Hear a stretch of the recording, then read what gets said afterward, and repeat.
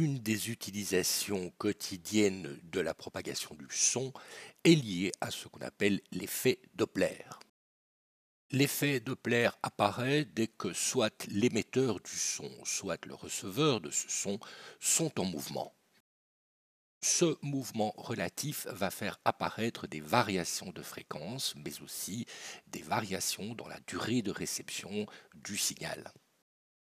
La seule façon de résoudre l'ensemble de ces problèmes est d'utiliser le mouvement rectiligne uniforme, c'est-à-dire les équations de droite. Illustrons cela sur un petit exemple. Je vais donc choisir un axe x et un axe t. C'est un mouvement à une seule dimension j'ai un émetteur qui est en mouvement rectiligne. Son équation est x à tout instant t est égale à une position initiale a indice e plus la vitesse de l'émetteur v indice e fois le temps t.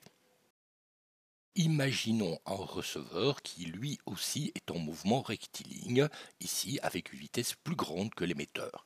Son équation du mouvement est bien sûr x indice r pour dire receveur égale la position initiale plus la vitesse du receveur fois le temps t à un certain temps t1, eh bien, l'émetteur se trouve à la position A indice E plus V de l'émetteur fois le temps t1. À cet instant t1, il émet un son qui a une vitesse c.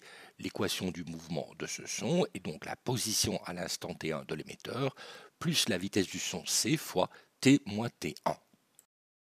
Je peux donc déterminer le temps t où ce son arrive au receveur en faisant l'égalité entre la position du son à l'instant t2 et la position du receveur à l'instant t2.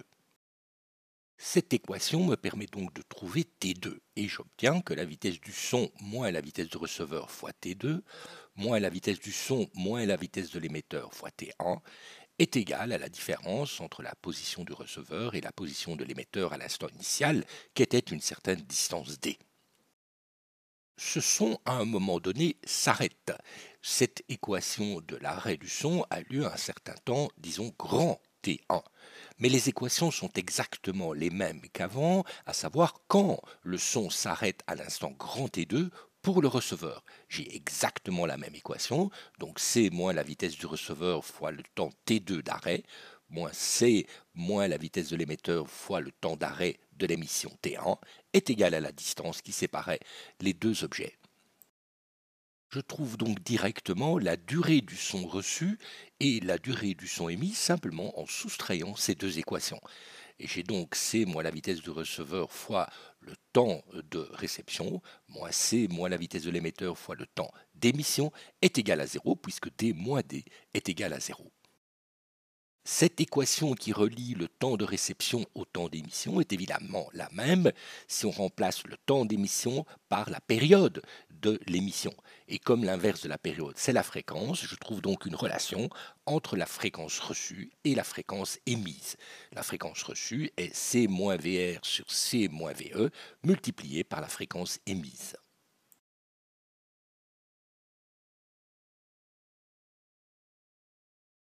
On peut compliquer le problème précédent en supposant que le son est réfléchi par le receveur et revient vers l'émetteur.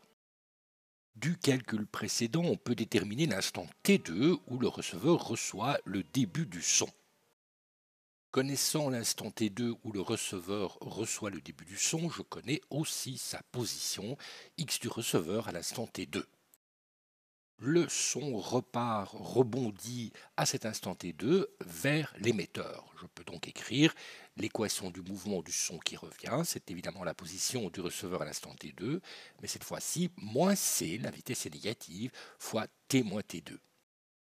Je peux donc déterminer quand ce son qui revient, donc l'écho, rencontre à nouveau l'émetteur en égalisant l'équation de ce son qui revient avec la position de l'émetteur à l'instant, disons, T3.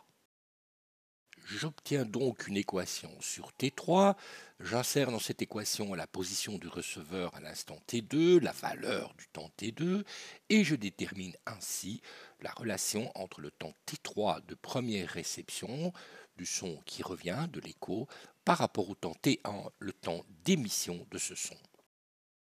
Cette expression est tout à fait identique pour la fin du signal.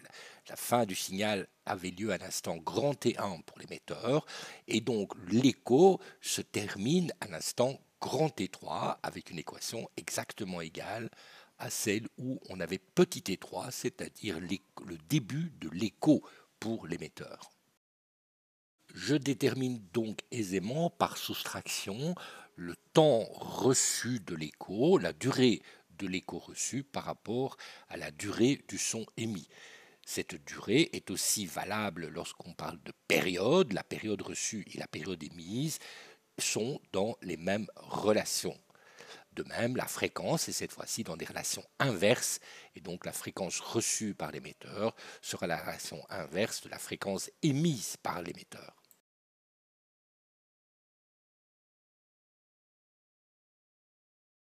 Le son, l'onde sonore, et plus exactement les ultrasons, pour ne pas gêner l'oreille, c'est-à-dire avec des fréquences inaudibles par l'oreille, est utilisé bien entendu en médecine. D'une part pour faire ce qu'on appelle de l'échographie, c'est-à-dire de l'imagerie en utilisant cette fois-ci les différentes absorptions ou les différentes vitesses de propagation du son à l'intérieur des différents tissus, mais aussi grâce à l'effet Doppler pour mesurer la vitesse par exemple du déplacement du sang ou du mouvement des différentes valves à l'intérieur du cœur.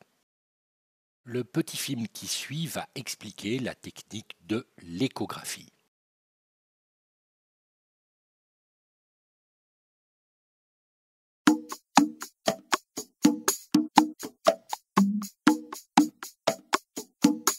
Comment fonctionne une échographie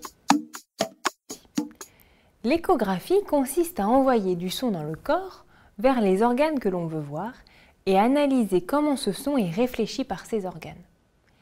On a tous vécu l'expérience de l'écho, devant une paroi en montagne ou un immeuble en ville, ou encore dans une caverne, on crie oh et notre cri revient quelques secondes plus tard.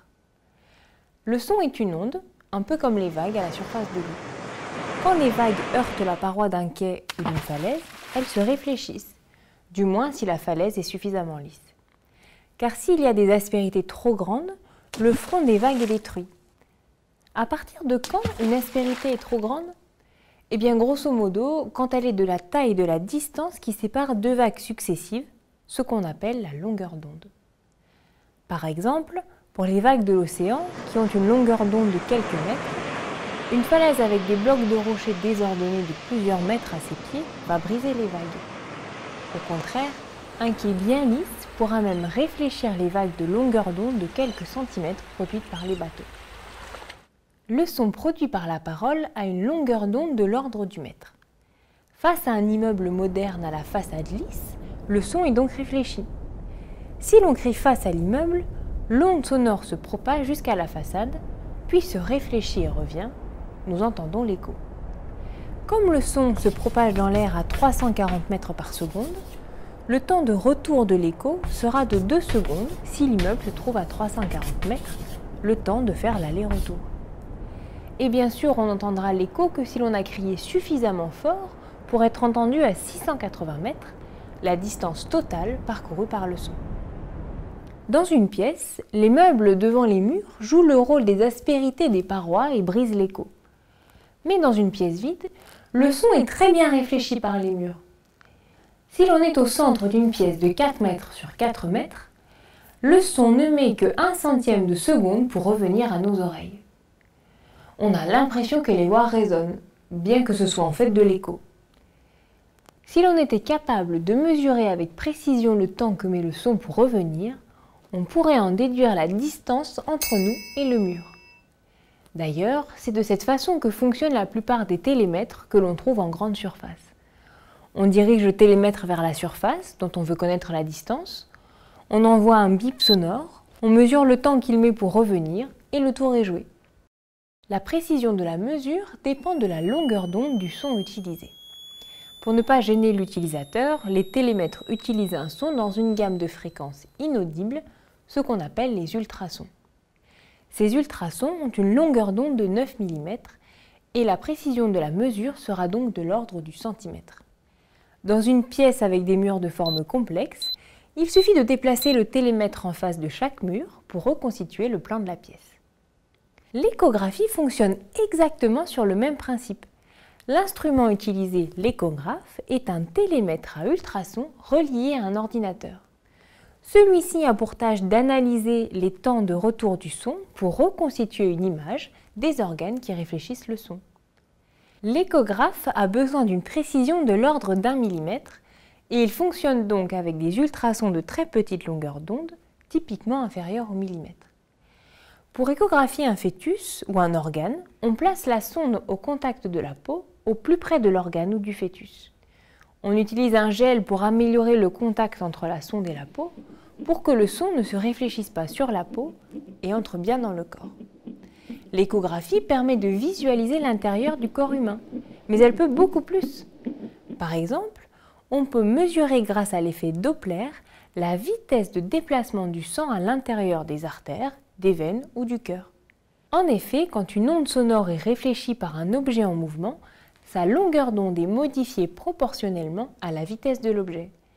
En comparant la longueur d'onde de l'écho à celle du son initial, on peut donc en déduire la vitesse de l'objet, c'est l'échographie Doppler.